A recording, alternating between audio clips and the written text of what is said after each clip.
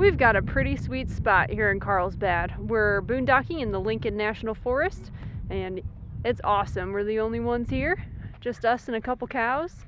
Oakley can't seem to leave the cows alone. She likes them now, so that's weird. But we're having a great time out here. Super awesome. It's been 90 degrees, which is crazy hot.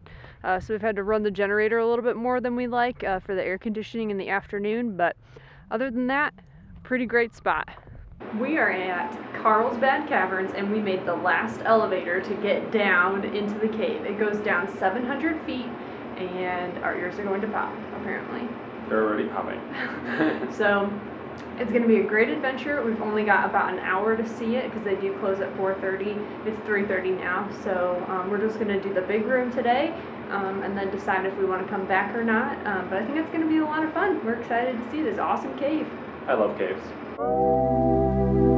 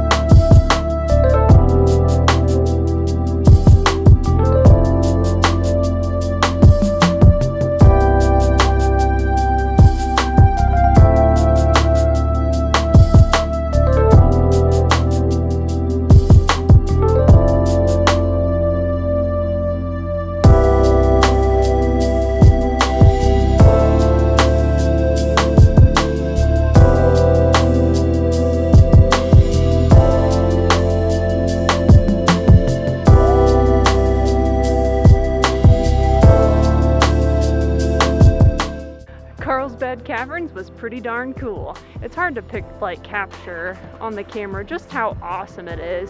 Um, it doesn't pick up the detail very well in the dark, but very cool. If you're out here, you've got to check it out.